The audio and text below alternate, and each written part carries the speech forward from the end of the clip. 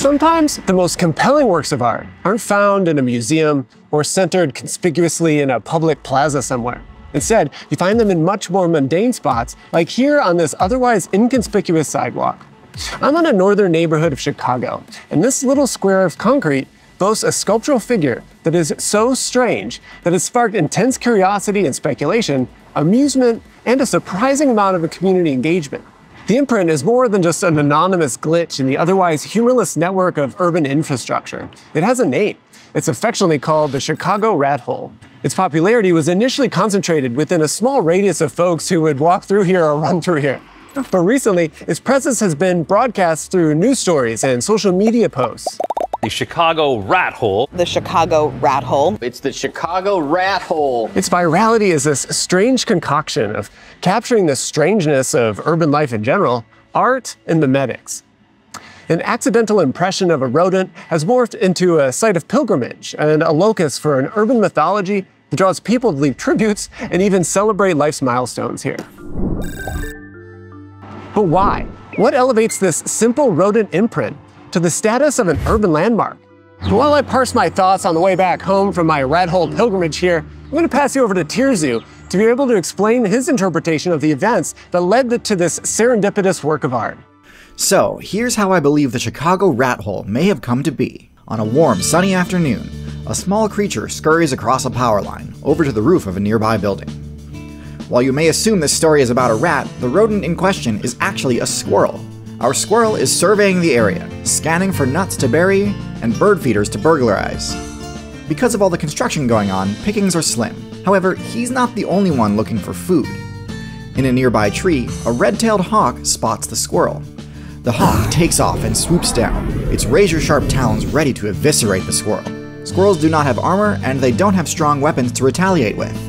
What they do have is incredible reflexes. At what seems like the last possible moment, the squirrel detects the incoming attack and selects the only option available, diving straight down off of the roof. For many creatures, this action would only amount to choosing one death over another, but squirrels have a very low terminal velocity and can survive falls from incredible heights. But in addition to that, instead of landing on hard pavement, our squirrel finds himself landing with a splash, having fallen into freshly poured concrete. While his fur leaves no imprint, his actual body, including the thin part of his tail, leaves a mark on the sidewalk that will last for decades to come. Let's just take a short pause for a second and consider the comic tragedy of this hapless creature. A squirrel miraculously survives an animal attack.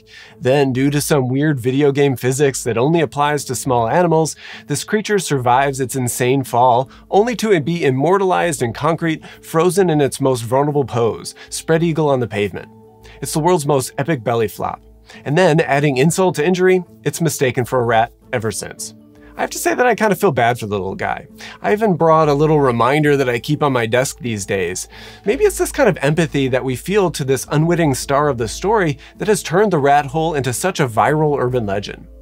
This thing has been mentioned in the same breath as iconic Chicago landmarks like the Picasso sculpture and Cloud Gate, and you might also know it as the Bean. Sure, these comparisons are made mostly in jest, but I think that begs a question.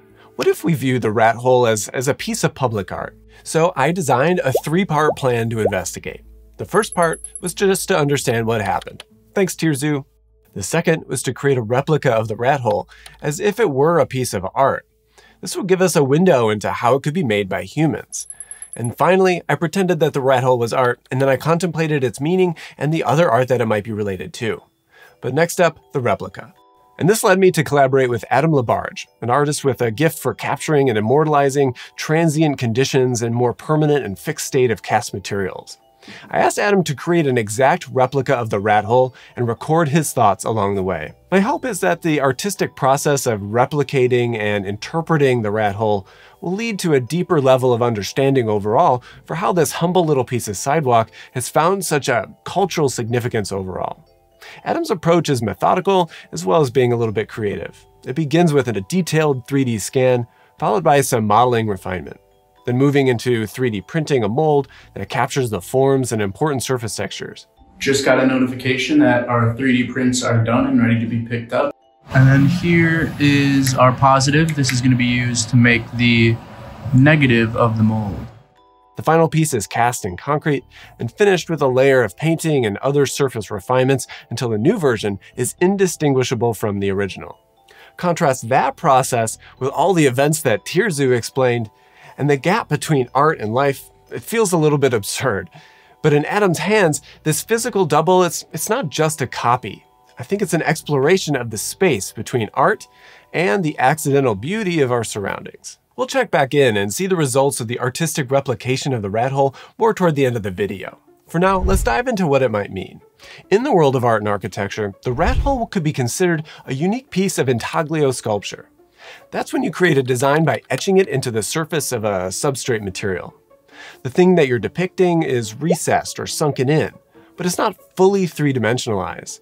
It's like halfway between an image of something and a, and a full three-dimensional sculpture. Think of it as the opposite of what you see on a coin, where the figures pop out at you. That's called bas relief. The rat hole, on the other hand, is a sunken relief. It presses inward rather than bulging outward, offering a subtle depth that captures shadow and provides enough cues to be able to interpret visual depth. This kind of artwork isn't as common as its raised counterpart, but it does have a rich history that traces all the way back to ancient Egypt, particularly during the Amarna period. That's about 1300 BC, when you might find an intaglio sculpture of gods carved into sandstone. But the rat hole obviously wasn't meticulously chiseled by an artist. It was accidentally cast into the surface of the Chicago sidewalk. The imprinting must have happened within, I think, about an hour or two of the initial concrete pouring. And while it took only a fraction of a second to make this piece, this imprint has endured for almost, I think, about 15 years now. Here is a photo taken from 2011. You can tell by the over-reliance on Instagram filters which help confirm its vintage. Anyway, this rat intaglio must have charmed countless people over its lifetime. Otherwise, it wouldn't have endured this long.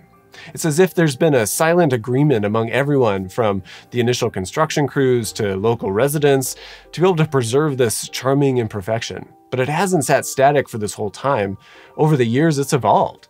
Its details have been softening, its outline blurring a little bit, Yet the rat still remains pretty recognizable. But today, ironically, its popularity is the greatest threat that it's facing.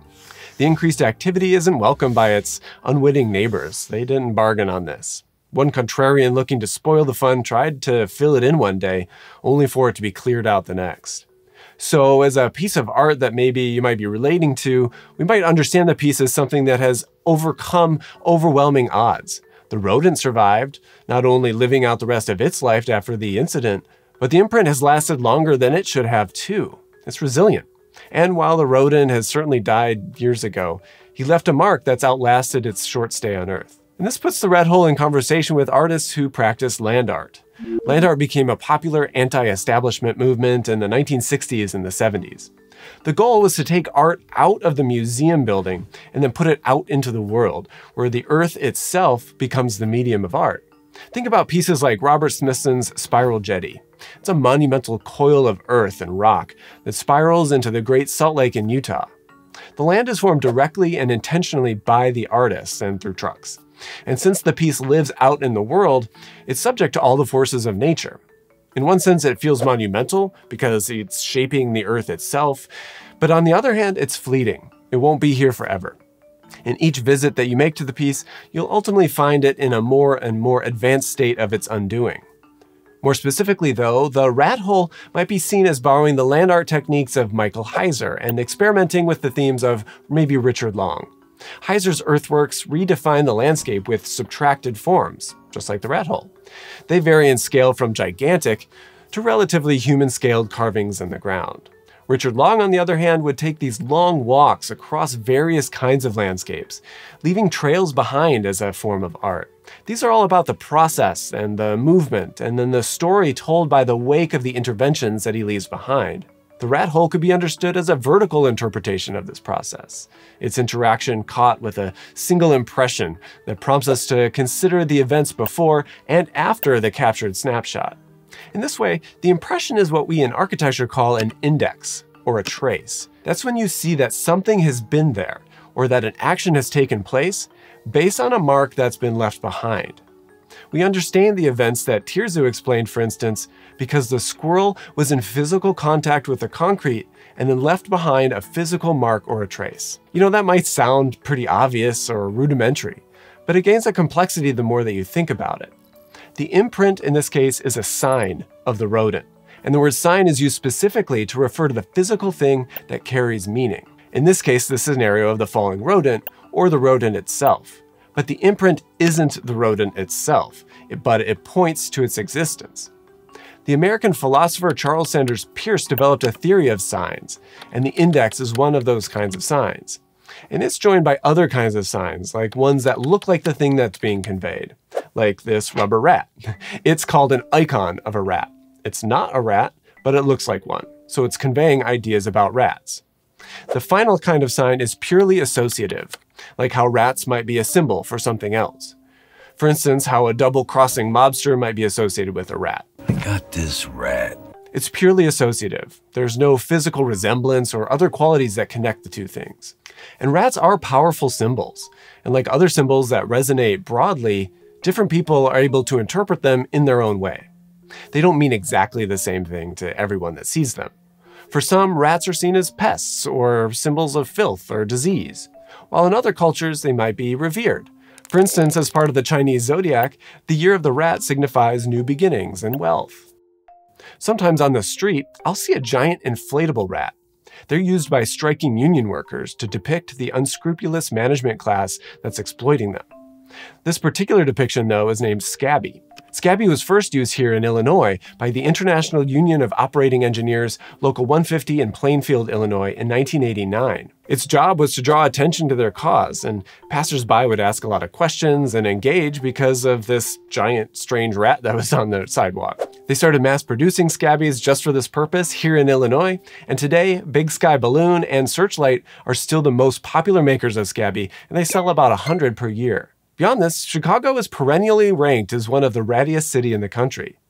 At this point, the animals only really live around humans and within the environments that we build for ourselves.